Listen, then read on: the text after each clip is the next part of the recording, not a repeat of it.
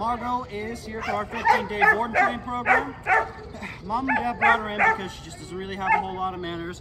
She likes to pull a whole lot. Hi, baby. and just in general, doesn't really, she wants to do her own thing. So we're going to see what she knows and what she doesn't, and we're going to take it from there. Margo, can you come?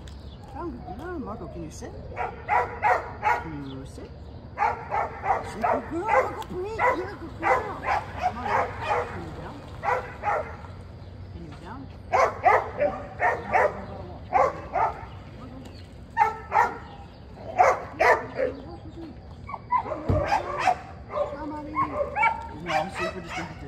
So she knows a few things. It just gets super distracted pretty easy. Doesn't really want to listen around. So stay tuned to check out Margo's transformation from day one to day 15. And thank you for choosing Bulletproof.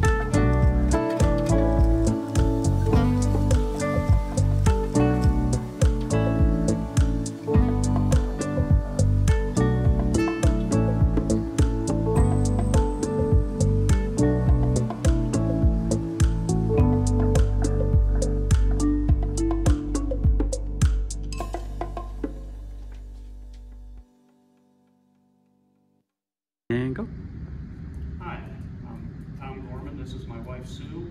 This is our dog Margo. Bulletproof dog training. Ezra trained our dog. We couldn't be happier. She is uh, she's a completely different animal than what we brought here 15 days ago. Um, looking forward to taking her home and uh, working with Ezra in the future to, to keep her on track.